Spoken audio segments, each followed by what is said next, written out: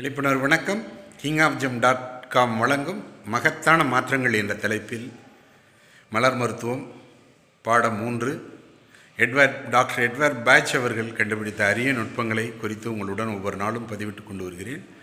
அந்த அடிப்படையில் அச்ச உணர்வு என்பது பற்றி மலருடைய எக்ஸ்ட்ராக்ட் குறித்து டாக்டர் எட்வர்ட் பேட்ச் அவர்கள் என்ன விளக்கியிருக்கிறார்கள் என்ற அடிப்படையில் இன்றைக்கு மூன்றாவது விஷயமாக நாம் பார்க்க இருக்கிறது செர்ரி பிளம் அப்படின்னு சொல்லக்கூடிய ஒரு மலருடைய எக்ஸ்ட்ராக்ட் இந்த செர்ரி பிளம் மலருடைய எக்ஸ்ட்ராக்ட் யாருக்கெல்லாம் தேவைப்படும் நீங்கள் கவனித்து பார்த்தீங்கன்னா யாருக்கெல்லாம் உடலில் வலி அதிகமாக இருக்கிறது மனசில் எரிச்சல் அதிகமாக இருக்கிறது யாரை பார்த்தாலும் எரிஞ்சு எரிஞ்சு விழுகிறது பேசும்போதே எரிச்சலான பேச்சு பேசுகிறது நீண்ட நாள் வழிகளோடு வலிகளோடு இருக்கிறது இது மாதிரியா இருக்கிறவங்க எல்லாருக்கும் பார்த்தீங்கன்னாவே இந்த செர்ரி பழம்ங்கிற மலரோட எக்ஸ்ட்ராக்ட் தேவை என்பது அவருடைய உடல் சொல்வதாக டாக்டர் எட்வர்ட் பாஜ் அவர்கள் கண்டறிந்தார்கள்.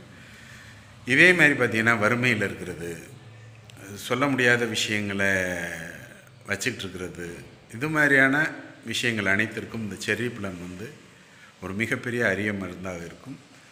இந்த செர்ரி பழத்தினுடைய தன்மைகள் மிக மிக எளிய முறையில் புரியும். யாராக இருந்தாலும் செல்லு செல்லுன்னு எரிஞ்சு விடுகிறது எதுக்கு எடுத்தாலும் கோவப்படுறது.